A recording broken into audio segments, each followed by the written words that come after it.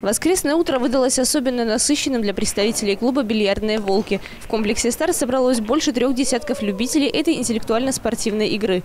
Участников не только и не столько привел азарт проверить свои силы, сколько желание помочь ребенку, оказавшемуся в трудной жизненной ситуации. Я сама воспитываю сына тоже, да, я понимаю, что значит болезни детей, тем более серьезная болезнь для ребенка. И, ну, скажем так, что сумма не такая уж и баснословная, да, если общими силами объединиться. И я считаю, что ну, реально и вполне возможно это все сделать общими, общими усилиями. Несколько лет назад движение «Бильярдные волки» начиналось с небольшой компании друзей, которые хотели поделиться своим увлечением пулом с теми, кому по душе проводить свободное время с пользой.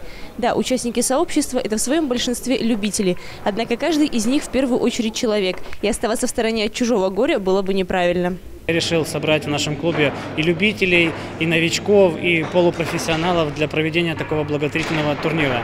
Все деньги пойдут на помощь ребенку на операцию. На турнир Мария Гонтарь приехала всего лишь на несколько минут. Сейчас маленький Максим нуждается в ее поддержке как никогда. Состояние мальчика меняется практически ежечасно. А ей, как и любой маме, хотелось бы видеть своего сына счастливым и улыбающимся. Дети с трахеостомой, они практически не говорят, но у него немножко потому что воздух э, не проходит через трубочку, ну, через трубочку, не проходит через голосовые щели. А у нас вот где-то после 7-8 месяцев воздух потихонечку начал проходить, то есть появилась просвет в картане, хотя и стоит трубочка, и он начал кое-какие звуки. Ну, как бы так говорит, так, э, э, э, э, такой вот, ну это вот папа, он не говорит, он говорит ап, ам, вот так вот, ама, апа, вот так вот. Начал потихонечку уже звуки издавать. Ой, чтобы здоровый был, чтобы дышал,